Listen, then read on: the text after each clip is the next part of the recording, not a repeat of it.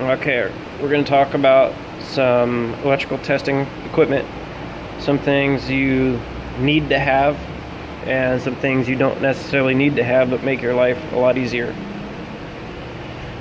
Um, first thing, you need a meter, whether it's one of these Lowe's brand, you know, whatever. You can get a cheap Chinese one.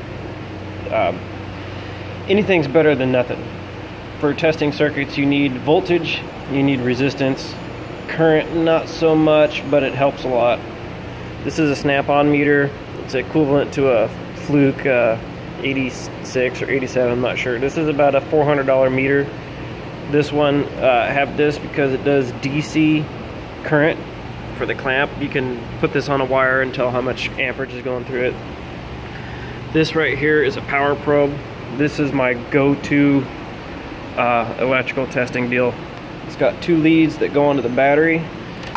And this unit right here it has a ground lead that comes up that you can do many many things with this. You can test for voltage at uh, a relay or a component. And you can also use the buttons to supply power or supply a ground.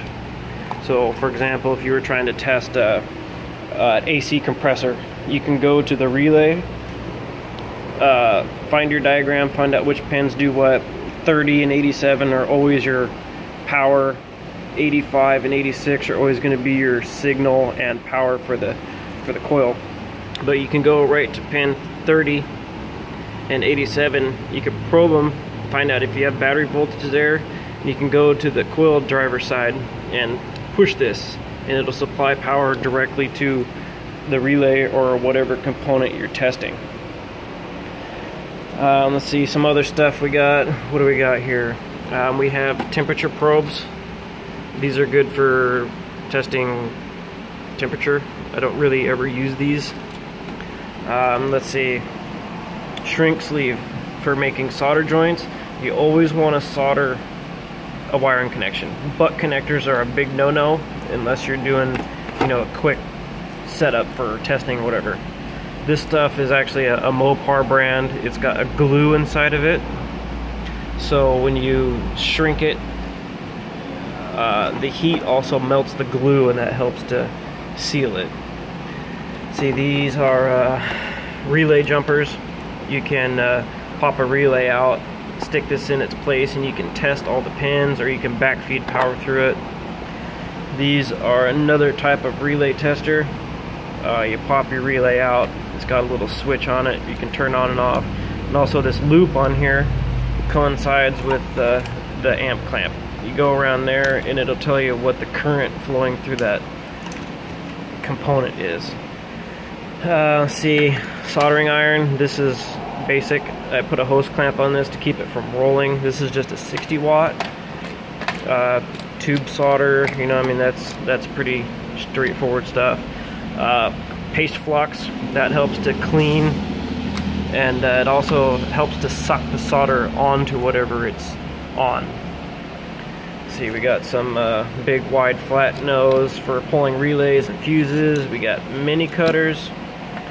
We got uh, strippers. We got crimpers. Tiny little angled needle nose are great. This is a flush cutter. This works really good for uh, cutting terminals off of connectors and whatnot.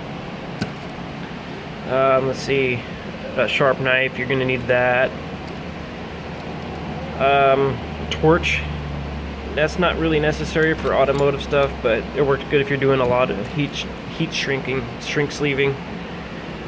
Let's see uh, this little guy here is pretty cool. This goes in a cigarette lighter and you can test for power with the light or you can also clamp off of this to supply power for some unit or module or whatever you're testing uh, these little mag base connectors, holder dealies. I don't know why that's in there. It's exhaust manifold stud for the Dodge truck. We don't need that. Uh, let's see, but these are pretty cool. You got little magnets on them so you can put wires in there and hold it while you're soldering them. Actually don't use those here. I should probably take those home. Uh, let's see, what else do we got here? We have a test light. This one's digital. Uh, there's two different types. There's digital, like this one, and there's also the ones with the incandescent bulb. Both of them have their places. These ones are good because if you're testing a circuit that's uh, sensitive to current flow, like a PCM or some, some sort of driver, um, this won't pull as much current through it.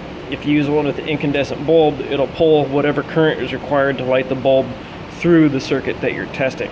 So you could easily pop a, a diode or a MOSFET or a JFET or you know whatever's in your in your circuit. Uh, let's see what else we got. Random lengths of wire, gotta have those. Electrical tape, must have. This is a different type. It's got some reinforcing in it. This is just vinyl tape. Um, let's see, lighters, You gotta have those for shrink sleeving. Uh, let's see, we got a spark tester here. That's not really what we're talking about. And um, I always keep connectors off of harnesses that I've replaced just because of the connectors inside there. You might find a, a terminal or something that's damaged and you need another connector. Or uh, if you do SRS stuff, you can keep the connectors like this I labeled side airbag. So if you're diagnosing an SRS component, you can just plug this in, jump it, and find out if it's uh, shorted or whatever. But if you don't understand SRS stuff, do not do SRS stuff. You can kill yourself or total a car out by deploying all the airbags on accident. Uh, let's see, test lead adapters. These ones are needle sharp, and yes, I have poked the shit out of myself with these before. We got straight ones, we got angled ones, we got bent ones. Those, uh, your test leads typically, depending on brand, like this one, my snap-on one, this uh, alligator clip will unscrew and you can screw these adapters on there so you can back probe uh, behind the connector. You never, ever, ever want to pierce a wire for testing. It'll corrode. If you do absolutely necessarily have to do that, you need to cover this. Uh, electrical tape, liquid electrical tape works well, but you never want to pierce a wire unless it's absolutely necessary. Okay, what else do we got? Um, see, this is just uh, some lights that I got rigged up for load testing. I use these for testing batteries. Uh, just random lengths of wire. This right here is a 10 watt UVA uh, LED. I use this for testing for uh, AC leaks. Looks for a UV dye uh, see, PCM connectors from when I worked at Dodge, you know, just random lengths of wire. Light bulbs are always good. If you don't have a meter, you can test for power on a circuit by using a light bulb. See, more random lengths of wire, more Dodge crap. Um, lengths of wire, random modules, um, fuses, relays. Don't worry about these, these are for uh, tumblers, ignition switches, and stuff. Um, these are actually pretty cool. These are called polyfuses. They, uh, instead of blowing a fuse and having it unusable, these will actually just get super ultra mega hot and it'll break the connection. So you don't end up blowing a, a fuse. After they cool down, it'll reestablish that connection. But you gotta be careful with those because you will burn the shit out of yourself with those. Uh, let's see, what else do we got? Uh, some random modules but this is all years and years of, of collection. You don't really need all this stuff to do any sort of diagnostics. What you need to start with is a meter. That's where you need. You can do all of your basic testing with a meter. Uh, you don't need any of this fancy shit.